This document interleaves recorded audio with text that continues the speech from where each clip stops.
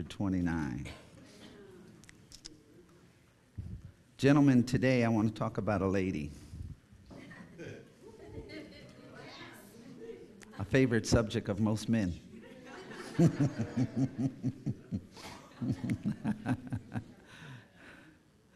Is that all right? So, ladies, you're going to have to catch hold of this because this woman you will want to emulate. Don't get jealous. This is all Bible time. Amen. All right? It's, this is something a man looks for um, in a woman. Y'all there? All right. All right. Y'all probably like, where is he going today? what is this all about? So, we've been talking about the power to tread over the last few weeks how you have to have your stuff in order when it comes to you treading ground, when it comes to you working in uncharted territories. So this is just another piece in the series, and I, and, and I want you to understand it from a spiritual standpoint more than from a natural standpoint. When I, when I say that is, there's a way of walking in the spirit and not in the flesh. Amen? And the Bible gives us keys about walking in the spirit. And I don't care what anyone says, God is never a liar. Okay? The Word of God is true, and we need to be able to honor that and be able to walk into that.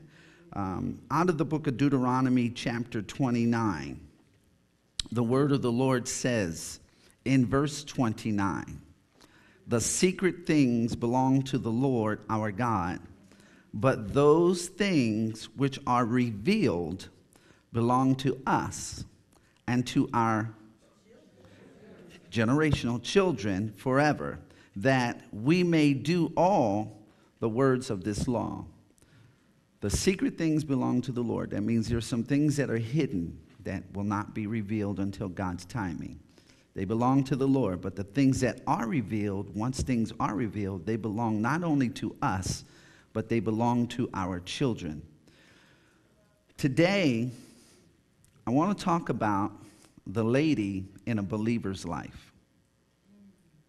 There is a lady in the believer's life, and that's what we're going to talk about today. It's very important. And you probably say, Is that my mama? Who is that? This is not Mother's Day. So we're not talking about your mom. But I need you to understand the perspective that God looks at things, and I'm going to tell you how the perspective came forth. Amen. Shall we pray? Father, I thank you uh, just for destiny, and I thank you for purpose. I thank you that you set us apart uh, for certain things. We are here in this city, this county, this region, uh, so that we might purpose your plans here in the earth. We honor you for that which you've done. We honor you for all that you continue to do. We thank you that you're sending us forward. Consecrate our hearts to hear the word that we might know your truth and walk in it. In Jesus' name, amen. Amen. So, you've heard here, God says the things that are revealed belong to um, us and to our children. Thank you, greeters. Um, our God, and this is very important, is a God of generations. So, therefore, no matter what you go through in your life, it's not just for you. There are some before you that you will bring, as even Abraham brought his own dad, and there are some behind you that you will lead into truth. So no matter who you are, you're, you're helping someone. And some of you say, well, I don't have um, children. Well, you have brothers, you have sisters, you have family members, you got nieces, nephews, aunts, uncles. You got people that you will constantly lead into a place of truth or into a place of darkness, no matter where you are. And how you spew things out of your mouth will have all to do with that. But out of the abundance of the heart, the mouth will speak, the Bible tells us. So no matter who you are, you have to understand there's a destiny set on you from the foundation of the world, and you have to know how to operate in that destiny. There is a lady there that wants to teach you how to operate in that destiny. But you must understand the course of your life, no matter who you are, can no longer be selfish and it can no longer be about you. Okay, well, you know, I don't know if I want to go to school or not, you know. No, go to school because it's going to help your kids. I don't have kids, I'm only 17. It's not about you. God's already looking into generations. Okay? You say, well, you know, my kids are all out the house. That doesn't stop anything. He's looking into the grandkids you're going to have. Okay? He's already there. And God wants us to be able to operate under that same anointing as we move. It's about the people that God has given to us. Amen. Let me give you a scripture out of Genesis 31, verse 42. Hear the word of the Lord. Unless the God of my father, the God of Abraham, and the fear of Isaac had been with me, surely now you would have sent me away empty handed. God has seen my affliction and the labor of my hands and rebuked you last night. So listen, this is Jacob praying. This is Jacob praying when he was in the midst of a, of a battle with his own selfishness, and he had to get that off of him, and he needed God to, to bless him. So here, what he says is, listen, there's, there's something going on with me. He learned something from his dad, that what his dad had, he was able to inherit it. So he said, My dad Isaac, I, I ought to have that blessing on me. My dad, my granddad Abraham, I ought to have that blessing on me. And if, you, if, any of you know the story of when Jacob was in Peniel, when, when he was there, he said, Lord, I'm not going to let you go until you bless me. Okay? He received that blessing because he understood generational blessing.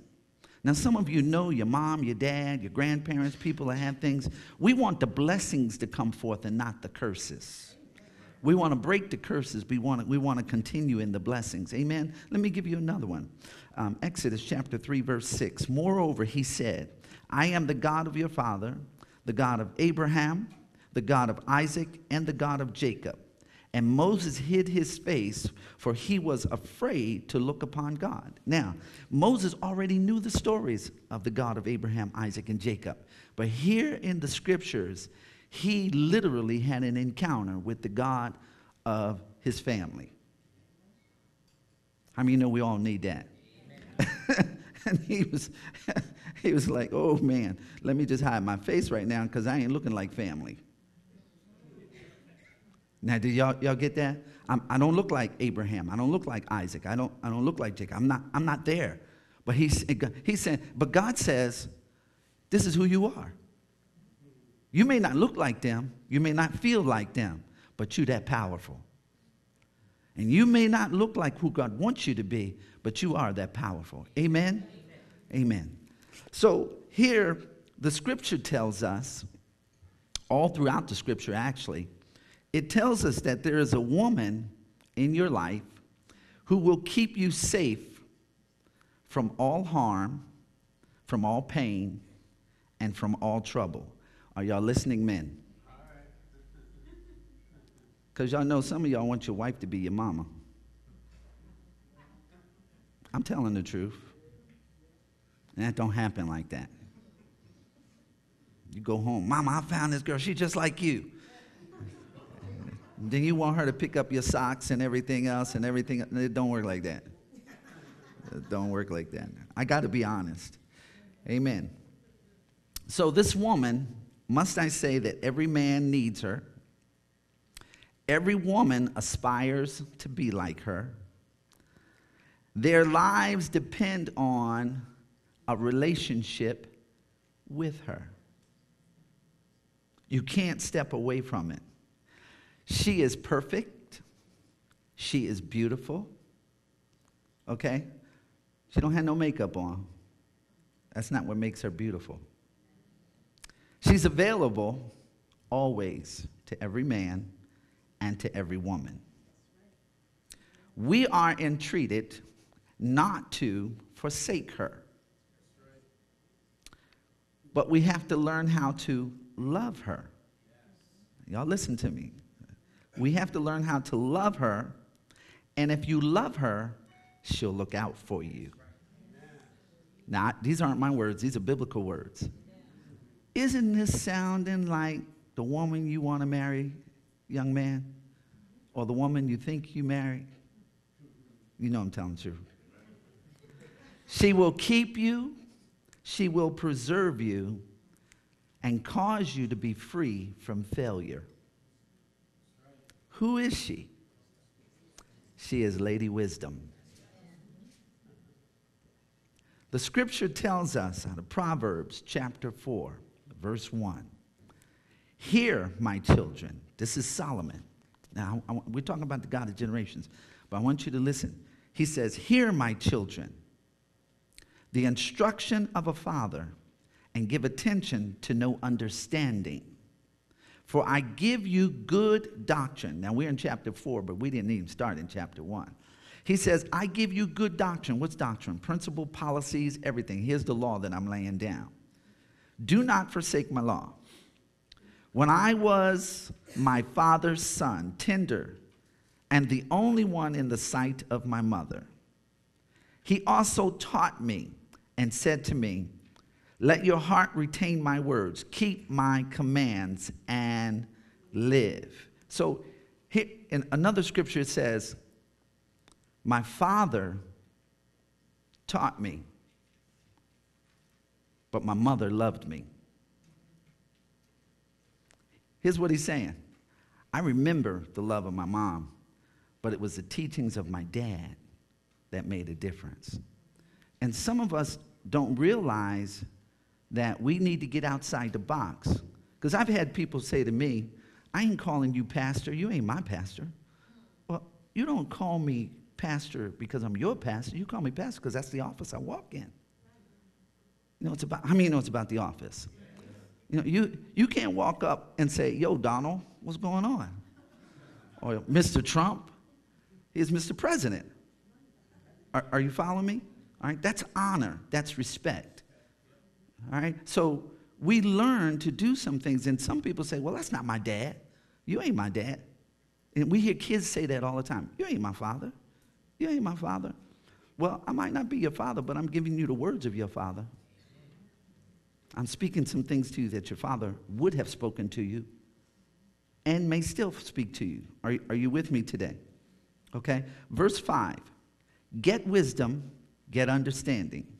Do not forget, nor turn away from the words of my mouth. Do not forsake her.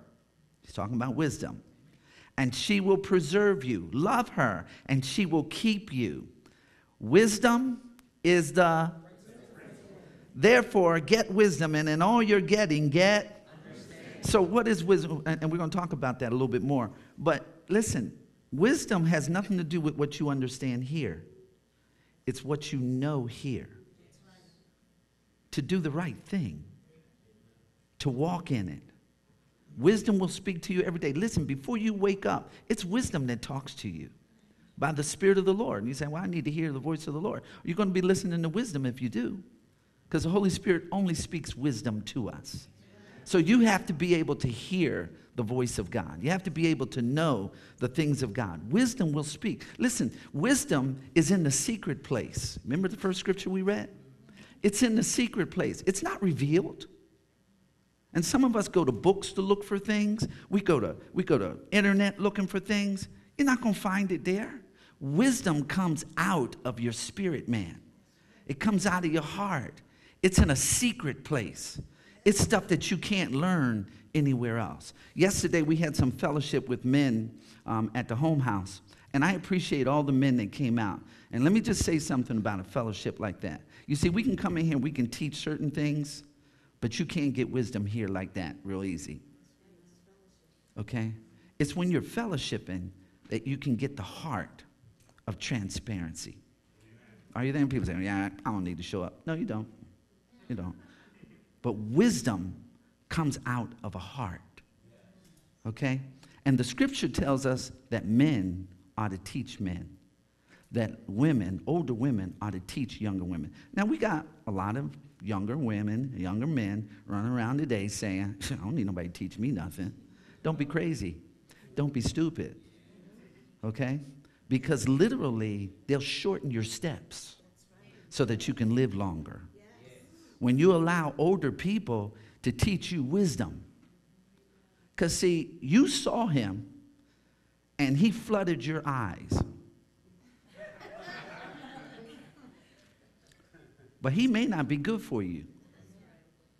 And only a mama who done been through that can tell you, girl, stay away. It's a snake in the grass. Y'all know what I'm talking about, right? Some things you just don't learn just like that. And there are many of us who want to experience things. You know, I'll just go through myself. You don't have to.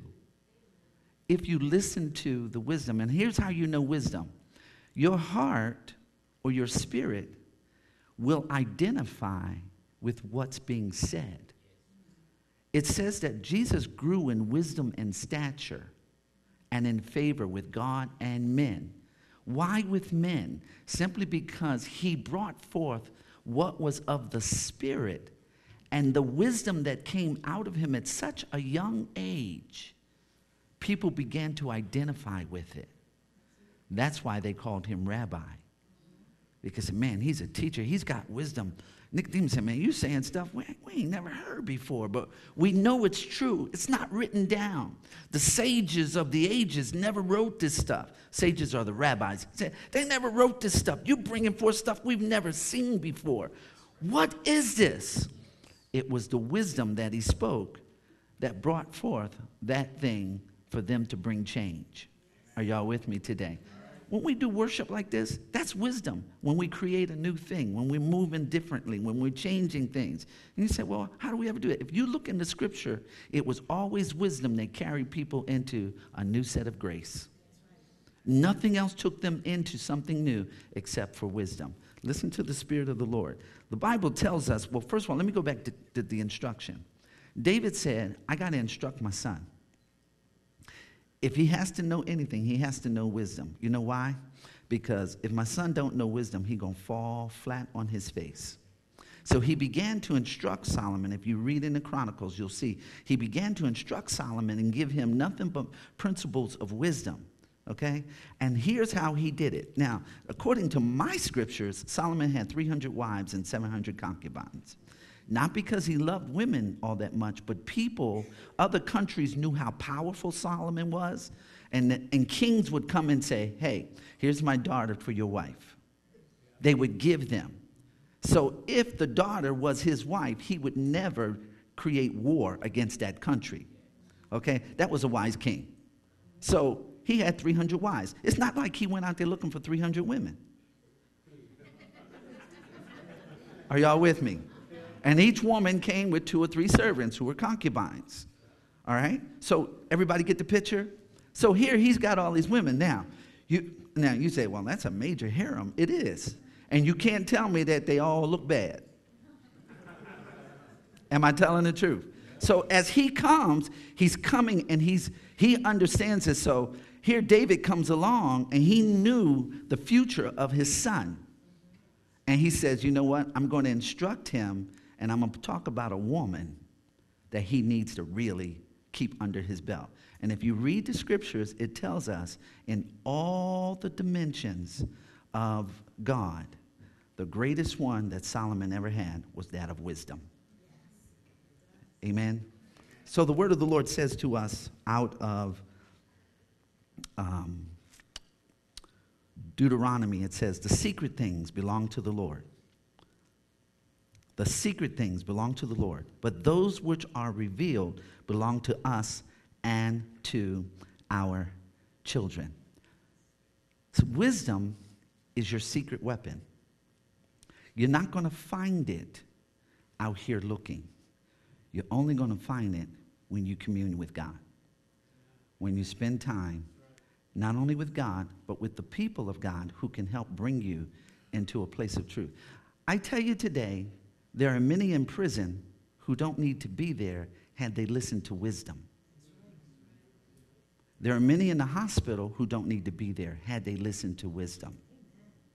Okay, but they forsook wisdom.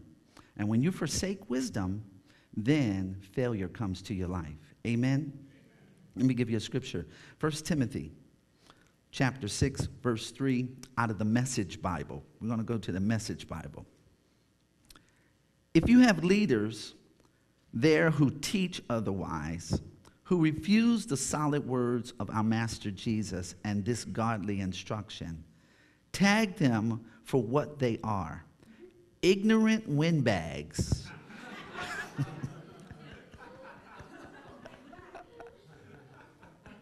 I'm sorry.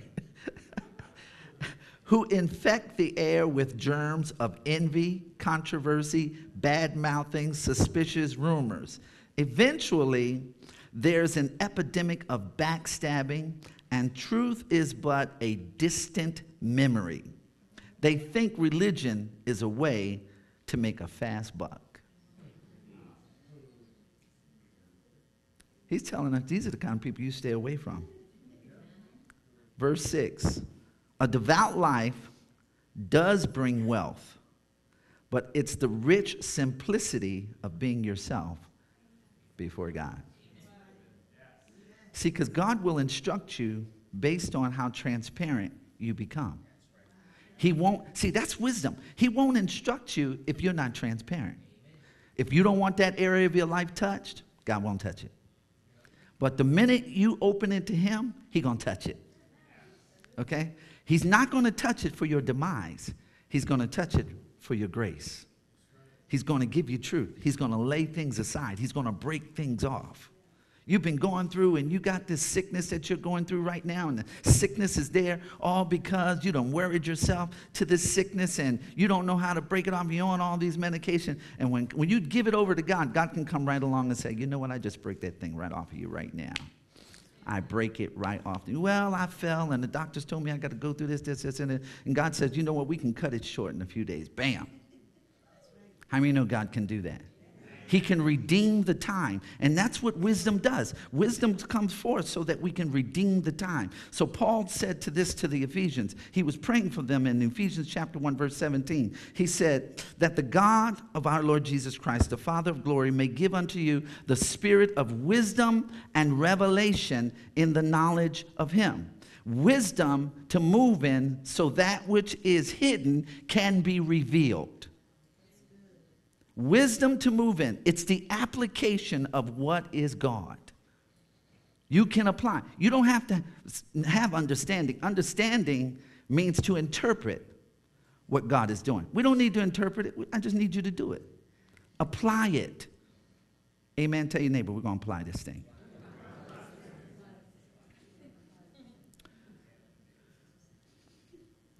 I told you earlier there's a sevenfold dimension of the Spirit of God.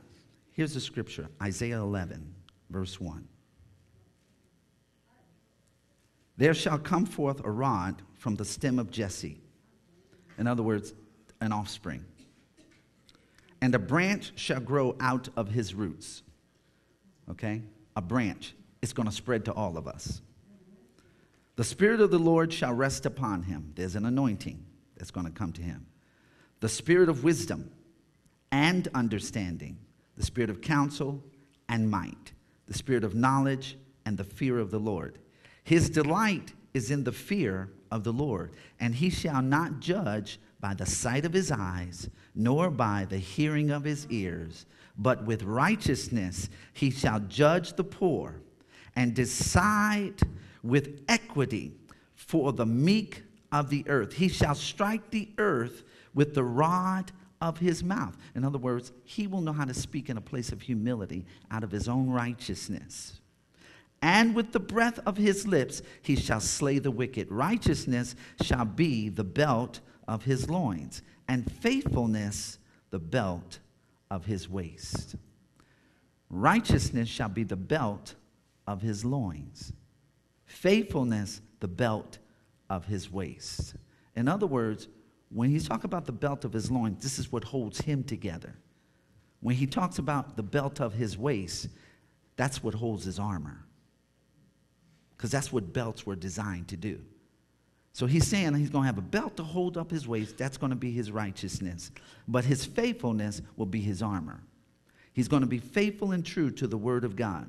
There's a spirit of wisdom that is in him, and the spirit of wisdom will come out of him. So, here in the scriptures, the Bible tells us, let me give you another scripture, it's very important. Matthew chapter 7, verse 1.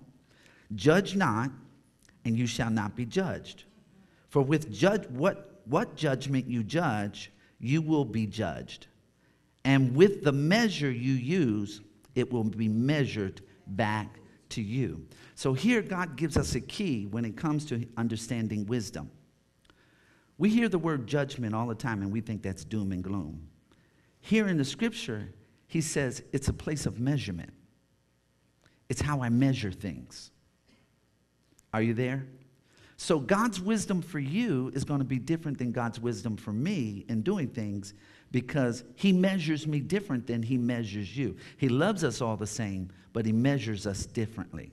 How does He measure us? He measures us based on maturity how mature you are. Some of you do that with your kids, and your kids say, Well, you love them more than you love me. No, it's not that I love you more, it's that you're older, and the expectations that I have from you are different than I have for the four year old, and you're 12 years old. Are you there? How many of you know that's wisdom? So you, you're judging or you're measuring based on that which is before us. So God wants to release so much to every single one of us. So He's going to measure you based on your love for Him. How your love grows is based on your maturity. Okay? All right, now listen, everybody, this is the key. This is how wisdom comes. Your love for Him will be decided based on the maturity in your life. Amen? Now, I'm going to say something that's very important. If y'all can get this on the, up on the screen, it's good. God will not love you more for your obedience to Him. God will not love you less for your disobedience. Some of you are failing to move forward. He's like, you know, I messed up with God, you know, so you're studying that. He's not. I, I really did bad, you know. God ain't studying you. But you need to get over studying you. You can't hear the voice of wisdom as long as you study you. But when you come to know God, all those things change.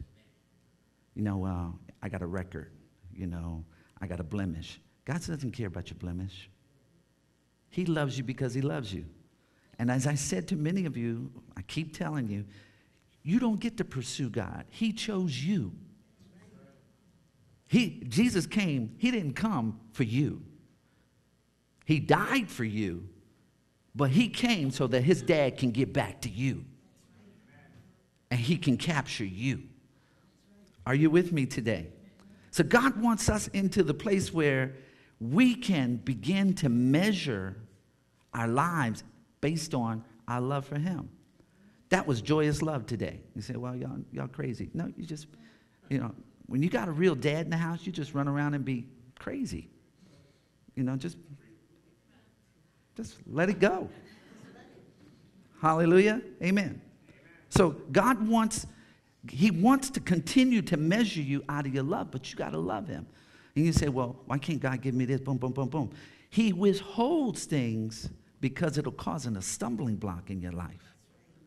Not that he doesn't want to give it to you, but if I was to give Brother Marquise a set of keys in, to the car, we in trouble. Because the boy ain't got no license yet. You, you, do you follow what I'm saying? Um, and let me give him the set of keys. I'm sorry, one of our members here, Jonathan, he, he, he drives a tractor trailer, and usually they have like 20 something gears on them and all that kind of stuff. I'm telling you, you got to know how, you got to know the load. You got to know all that kind of stuff. You can't just get up and do those things. Even um, when I went to flight school, you, you had to literally, you have to know the weight of that plane. You know, and that's what they be sitting in the cockpit doing when they tell you, we got too many people on the plane. Because if that weight is not there, that plane ain't getting off the ground. And it may get off the ground, but it might not stay in certain dimensions of the atmosphere. Are, are y'all following me? Okay? So you got to know those things. You got to measure those things. So we know as parents, there's certain things that you give to your children, there's certain things that you don't. And parents, you're going to have to pick up the pieces. Because sometimes you be on your cell phone running your mouth, and here your kids under 13 are listening to adult conversations where they think they can get involved in them.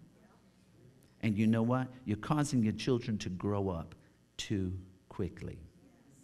You're allowing your kids to watch stupid on television. I said stupid, where they're growing up too quickly. There's some stuff out there I can't watch, and I'm an adult.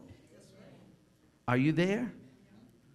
And when it pops, I'd be like, oh man, it hits me right in my heart. Y'all with me? Because wisdom saying, get that stuff off that television.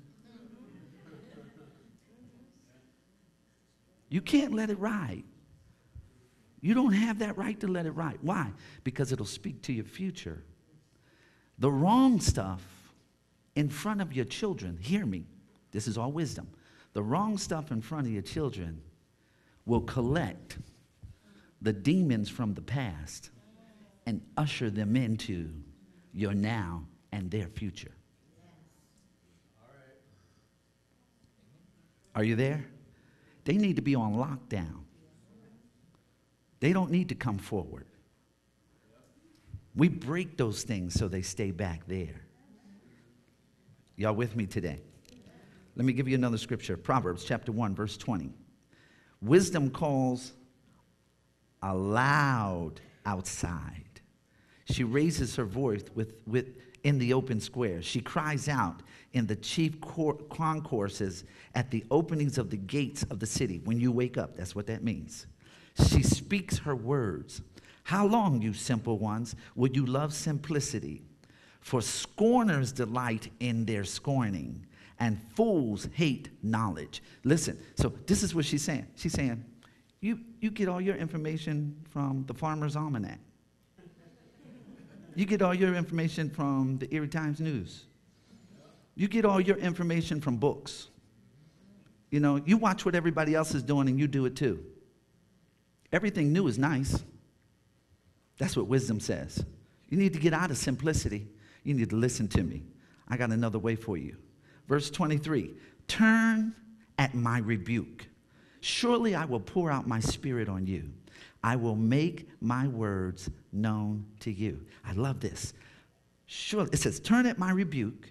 Surely I will pour out my spirit. and I will make my words known to so listen, listen. Once you get wisdom, wisdom does something for you. It leads you to miracles. We've been talking about miracles coming forth. How do you get them? You got to follow wisdom. If you look in the scriptures, think of every instance in the gospel when Jesus healed somebody, somebody was going through, they all had to do something. When he spoke to every single one of them, he spoke in the spirit of wisdom. So once they followed the wisdom, miracle happens. Okay? You cannot get a miracle without walking in wisdom. Maybe it's just one small thing that you need to correct. And that will be how you measure your love for God in that place. Maybe there's a measurement over here, but right now, I just need you to do this. When my son was young, I had to correct him and I had to watch him. When he's, as he got older, I correct him, I don't watch him. As he got older, I didn't even correct him. I let him bump his head, bump his head. When he bump his head, dad, you know, boom, boom, boom. I get it now. I get it. I mean, the wisdom always speaks. Okay? You can't forsake the wisdom of your mother, your father. You can't forsake the wisdom of the Bible teachers that you have. You can't forsake the wisdom of the pastors you've had. When you understand wisdom and you walk in that wisdom, those things that you carry with you every morning. If you wake up in the morning and you hear my voice, it ain't because I'm in your bedroom. It's because God's trying to say something to you that was said that was relative to your placement and your growth in life. So when you get a measure, or you got a teacher, or you got someone in your ministry that has said something to you, when you hear that, you need to register it. In other words, sign up quickly and say, oh no, I got to follow this. I got to walk in this. I got to walk in that truth. When you walk out that truth, bam, the miracle happens. It pops. Two scriptures to let you go. One, 2 Peter chapter 1, verse 1. Simon Peter, a bondservant and the apostle of Jesus Christ.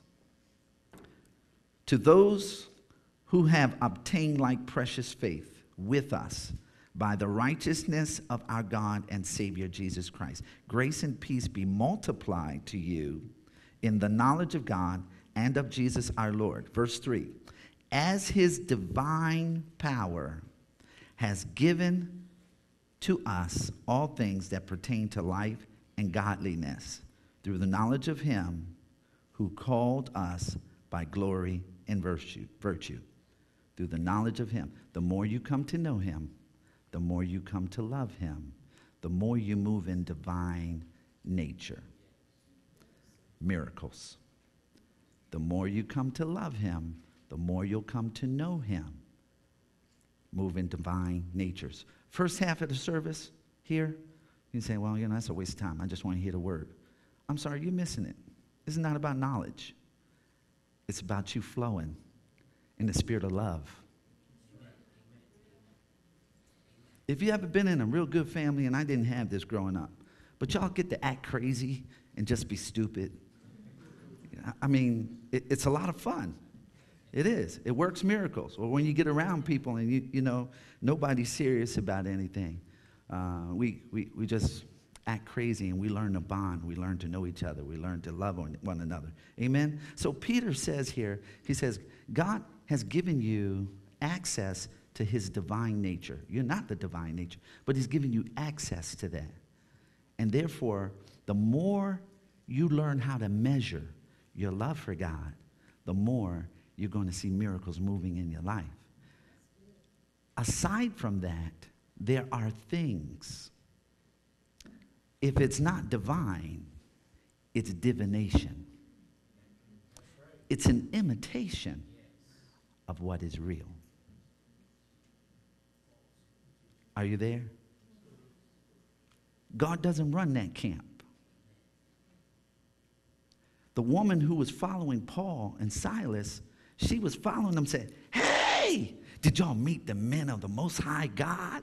Wow! Did They're doing signs, wonders, and miracles. You would have thought she was a great advertisement. But it was only wisdom that spoke to the heart of Paul, who says, This woman is not for us. And he had to literally shut her down at one particular occasion. You have to know the difference between divination and divinity. You walk into any place where you're ready to buy something, people will come up and they will tell you all kinds of stuff. They'll want to sell you everything. And then they will ask you, Do you want to buy the warranty?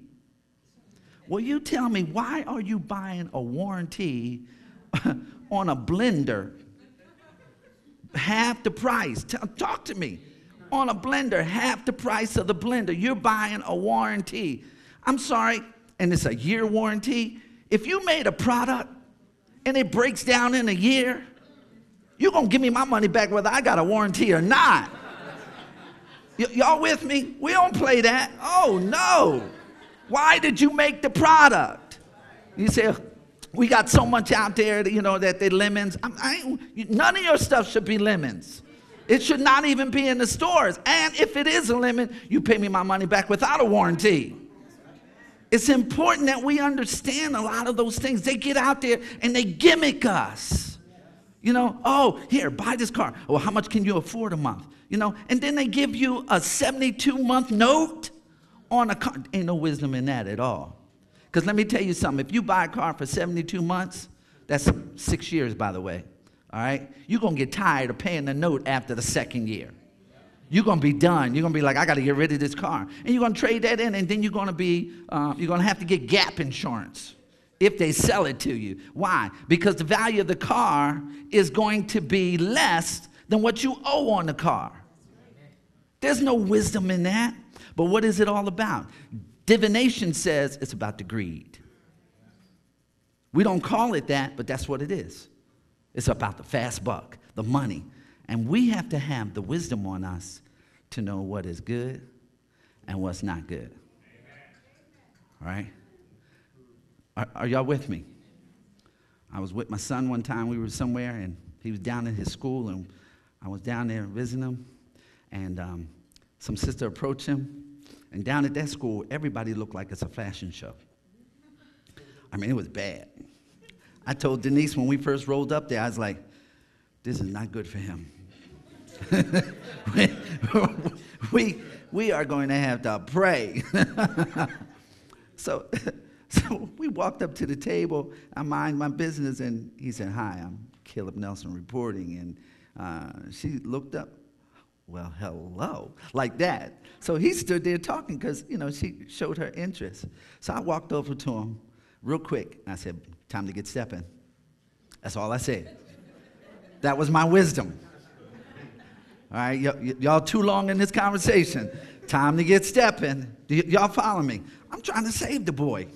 You know, you can tell me upperclassmen or whatever you want, but I ain't thinking about upperclassmen. I'm thinking about my future. Are you there? Because you in school right now, and should you go out and do what you're not supposed to do, who gonna take care of your baby? Okay? My money is not to take care of your baby, it's to give an inheritance later on. Does everybody understand what I'm saying? All right, so you got to give the whip. You and you can't say, "Well, you know, I went through it. Just let my kids go through it." No, we don't want them to go through it. We want them to skip over it. Glory to God. Get by it. Oh no, man, you you you don't know the pain that that thing caused me.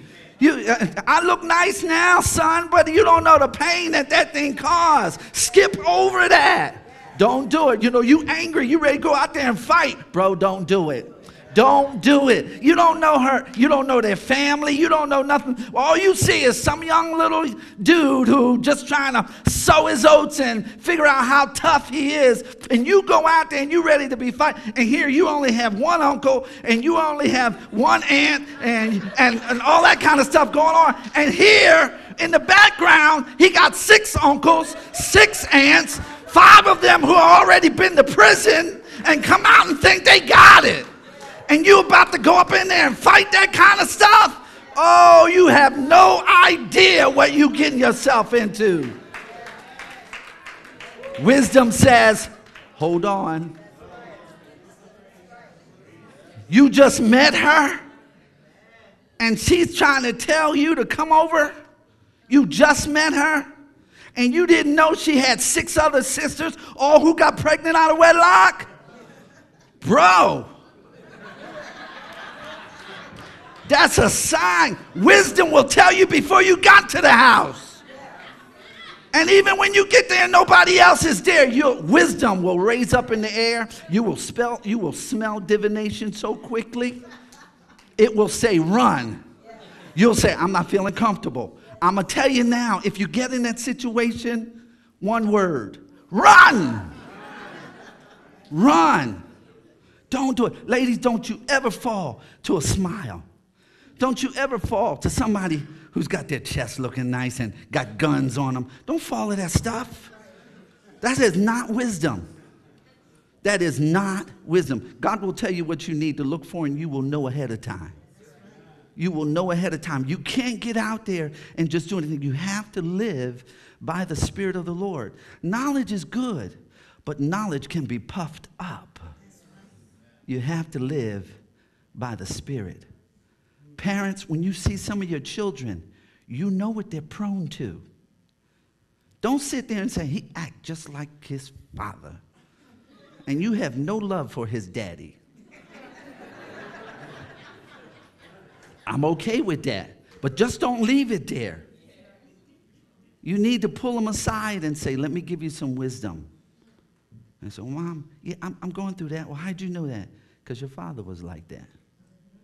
My mama was talking about my dad one day, and I was like, Shundo sata.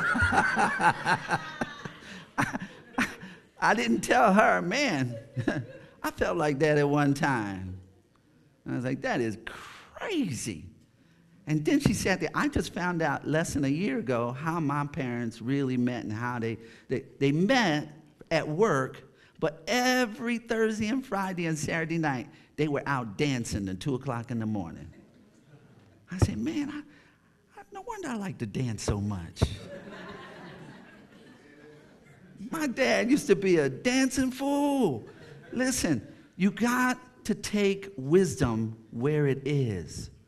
And sometimes you'll never find it until you sit among God, sit among family, and sit, sit among others who God sent your way to teach you wisdom. It doesn't come in an age. You say, well, it has to be older. Wisdom is not always older. Sometimes it's younger. Don't pull an age. It's all about their maturity in Him. And when you learn to walk in wisdom, you'll find a miracle around the door, just on the other side. Come on, stand to your feet.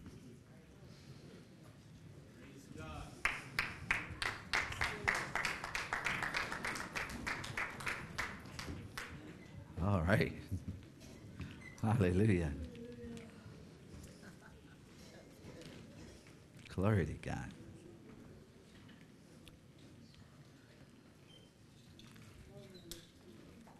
Wisdom, I didn't go into everything, but wisdom has an enemy. It's shame. Never put yourself in a place of shame. When shame is standing at the door, wisdom is always standing there to confront it and to defeat it. So you don't have to feel sad, rebuked. God doesn't want to bring shame on you, He wants to bring glory on you. So if you would just turn things over to Him, He'll work a miracle. I didn't know how I'd get out of this, but God knew. He'll get you out. There's a way that seems like no man can get through.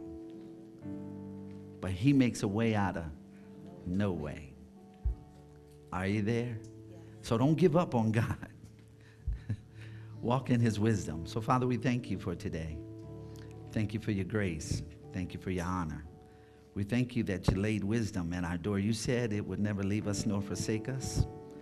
You said we're not to forsake it, but even every morning when we wake up, when our eyes open, that it will cry aloud unto us. It will speak to our heart. It would follow us through our day. Lady Wisdom will always be with us. That is your spirit, Lord. So open our hearts to receive the voice of the Lord by the spirit of wisdom, that we might know truth and that we might find our destiny. We honor you for that in Jesus' name. Amen.